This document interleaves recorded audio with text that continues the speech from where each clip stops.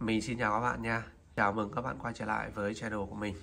Trong video ngày hôm nay mình sẽ hướng dẫn các bạn cái cách là sẽ tải lại được cửa hàng Set Play trên điện thoại Samsung. Nếu chẳng may mà chúng ta trong quá trình sử dụng chúng ta xóa hoặc là chúng ta buộc dừng mất ứng dụng là cửa hàng Set Play.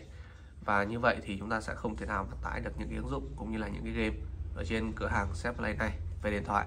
Và để cài và cũng như là hiển thị lại uh, cửa hàng Set Play trên điện thoại Samsung của chúng ta hoặc là trên điện thoại Android thì các bạn có thể thực hiện những cái bước như sau. Nếu như trong quá trình sử dụng điện thoại các bạn vô tình à, tắt mất cái cửa hàng set play ví dụ như ở đây thì à, mình có thể tìm kiếm cửa hàng set play này. Đây mình sẽ gõ là ch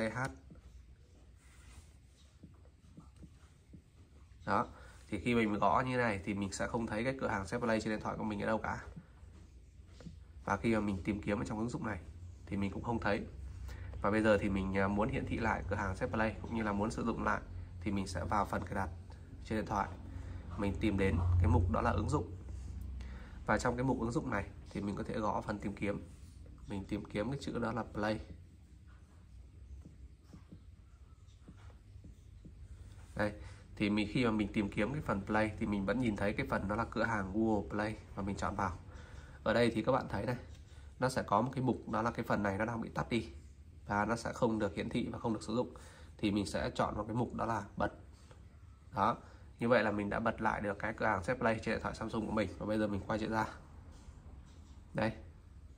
Đó, thì khi mà mình bật lại thì trên điện thoại của mình nó sẽ xuất hiện cái cửa hàng set play và mình sẽ vào cái cửa hàng này để tải những cái game và ứng dụng mà mình yêu thích và sử dụng một cách hoàn toàn bình thường. Và trên đây chính là cái cách để các bạn có thể là tải lại được cửa hàng set play trên điện thoại Samsung.